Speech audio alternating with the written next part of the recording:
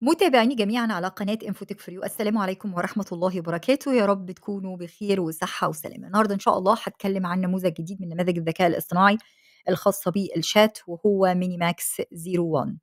minimax zero one هو نموذج مفتوح المصدر من شركة minimax، والنموذج ده هو نموذج متميز وفريد، لإن هو تم تدريبه على 456 مليار parameters. أيضًا تم تصميمه بناءً على نظام اسمه mixture of experts أو بيسموه MOE. الجميل إن النموذج ده بيتعامل مع أو عنده قدرة في التعامل مع الlong text أو السياق الطويل، آآ وبيتعامل معاه بكفاءة جدًا مهما كان طويل من غير ما يضحي بالنتايج، يعني الموضوع بتاخده كله بشكل عالي وefficiency عالية جدًا.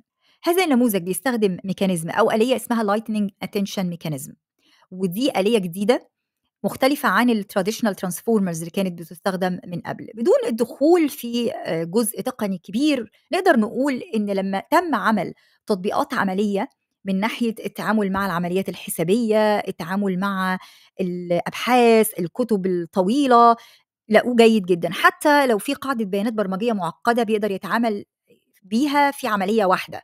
ولكن في بعض ال أو تم يعني رصد بعض عدم الدقة لمّا يكون الموضوع معقد أوي في موضوع البرمجة إلى حد كبير، وده مش عشان هو مش حلو أو الefficiency بتاعته مش جيدة، ولكن هو لسه محتاج شوية تطوير أكبر آآ على وبالذات خاصة بالعمل على المشاريع البرمجية الكبيرة المعقدة جدًا. ولكن لو أنت عايز تقرأ أكتر في report link تقدر إن أنت تروح تقرأ عنه، عبارة عن PDF كده نزّله واقرأ عن النموذج. ولو بصينا تحت هنا حسب on minimax text zero one يعني related ليه أو مقارنةً بالنماذج الأخرى، هنلاقي هنا بالنسبة للtasks بقى بشكل عام الgeneral الجزء البرمجي، الجزء المحاسبي، هتقدر تلاقي إن هو الأداء بتاعه جيد بشكل كبير جدًا مقارنةً بGPT4o، بClaude 3.5، بGemini 1.5 طبعًا تقدر إن أنت تشوف بقية المقارنات. لكن لو بصيت هتلاقي إن هو جودته عالية جدًا بالنسبة لبقية النماذج، آه مش محتل مثلًا say المرتبة الأولى في كل حاجة لأ،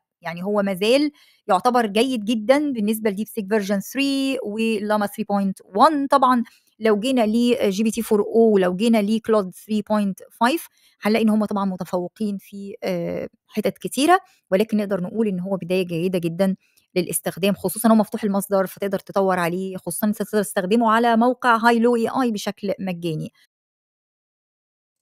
هو موقع من المواقع اللي في الأساس كنت باستخدمه علشان أنشئ فيديو بالذكاء الاصطناعي، لكن دلوقتي هو فيه chat model وبالتالي تقدر تستخدمه في الجزء زي ما قُلت لك المتعلق بالchat. إحنا مش هنتناول الHilo فيديو، تقدر أنت تروح لقناة كل يوم موقع جديد هتلاقيني متكلمة عن الجزء المتعلق بإنتاج فيديو وصور وصوت بالذكاء الاصطناعي، هي متخصصة جدًا في هذه الجزئية، ولكن النهارده إحنا هنركز على minimax آآ O1 ونشوف إمكانياته إيه. هنا تقدر إن أنت تفعّل الsearch the web لو أنت عايز real time information يعني زي كده ما بتعمل على ChatGPT، وهنا تقدر إن أنت ترفع text مثلًا آآ تقدر ترفع documents تقدر ترفع ده بالنسبة لل format PDF، PPT، آآ presentation تقدر إن أنت ترفع JPG، PNG آآ عندك ملف Excel، XLS أو XLSX آآ SVG، vector يعني قدامك آآ حاجات كتير جدًا تقدر إن أنت ترفعها، فأنا شايفة إن هو هنا بيدعم formats كتيرة جدًا. تعالوا نعمل تجربة.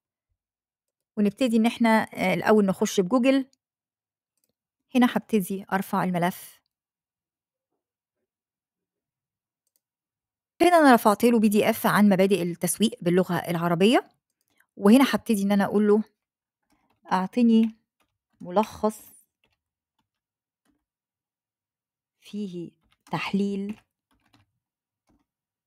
وعرض لجميع النقاط التي جاءت في الكتاب.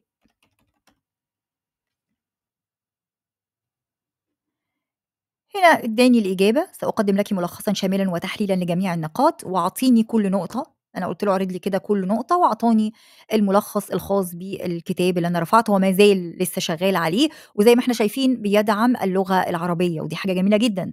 أنا باعتبر إن أي نموذج بيدعم اللغة العربية وبجودة كويسة، يعتبر ده نموذج يستحق إن إحنا نبُص عليه أو ننظر له. ده بالنسبة للرفع مثلًا كتاب كبير وأطلب منه إن هو يلخصه. آآ أيضًا ممكن إنك أنت ترفع PPT، ممكن ترفع آآ Excel، هنستنى لحد ما يخلّص، وزي ما إحنا شايفين حَط لي كده كل topic في نقطة، وتحت كل نقطة نقاط تانية، فرعية وهكذا لحد ما أوصل للخاتمة. هابتدي هنا أرفع صورة.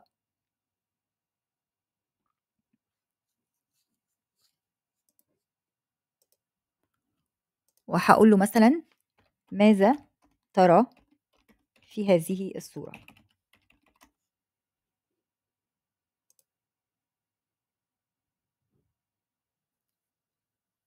أرى في الصورة شخصًا يرتدي خوذة سوداء بالكامل ويركب دراجة نارية سوداء على الطريق، الشخص يرتدي سترة جلدية سوداء وقفازات سوداء ويبدو أنه في وضع القيادة مستعدًا للتحرك مع إضاءة أمامية مضاءة، الطريق يبدو فارغًا نسبيًا، هنلاقي كده زي ما إحنا شايفين في الآخر كده في حتة كده صينية كده مكتوبة بالصينية، جزئية كده مكتوبة بالصينية، طبعًا أصلًا نموذج صيني أو الشركة دي شركة صينية.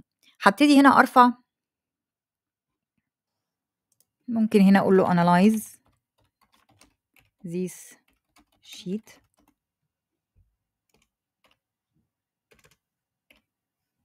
هاقول له analyze this sheet. بيبتدي يanalyze الsheet بتاعي، بيقول لي إن ده عبارة عن case study calculations وفي إيه في الtable الجزء بتاع الheader والcolumn. بصراحة حاجة في منتهى الجمال، يعني زي ما إحنا شايفين ما خدش وقت تمامًا، أنا كمان يعني حاسة إن هو مع اللغة العربية بياخد وقت شوية على ما يرد، ولكن باللغة الإنجليزية الموضوع ما خدش مني وقت كبير في الرد، زي ما أنتم شايفين أهو بشكل عملي، وبيبتدي يحلل أهو الملف اللي أنا رفعته له اللي هو excel sheet زي ما إحنا شايفين، وكمان عاطيني الconclusion. وطبعًا كل التحليل الأرقام دي تقدر إن أنت ترجع للsheet الأصلي علشان تتأكد إن الأرقام دي مدى الكفاءة أو مدى الدقة الخاصة بالأداء، علشان برضه تحكم عليه، ما تاخدش الأمر مسلم بيه، لازم تعمل مقارنة دايمًا ما بين النتائج لحد ما تطمن النتائج بتحصل عليها لأ دقيقة، خلاص تبتدي إن أنت تعتمد عليه إلى حد كبير.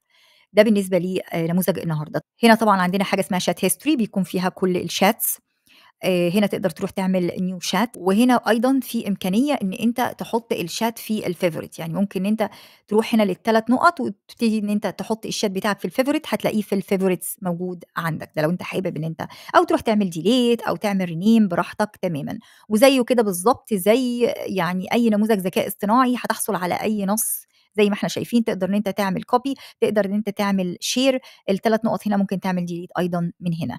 ده بالنسبة ل آآ النموذج بتاع النهارده من minimax وتقدر تجربه على موقع Hailuo AI هاحط لك الروابط في الوصف أسفل الفيديو. وزي ما باقول لكم في نهاية كل فيديو أشوفكم في فيديو قادم بإذن الله تعالى على قناة infotech for you بنحاول نقدم لك كل مفيد وجديد على القناة، فما تنساش تدعمنا بال like وال share وال comment، ولو كنت أول مرة تشوفنا أدعوك كده إن أنت تشاهد بقية الفيديوهات وإن شاء الله تعجبك، وما تنساش تعمل subscribe للقناة وتفعل الجرس عشان يوصلك كل جديد لو فعلًا استفدت من الفيديو. دمتم في رعاية الله والسلام عليكم ورحمة الله وبركاته.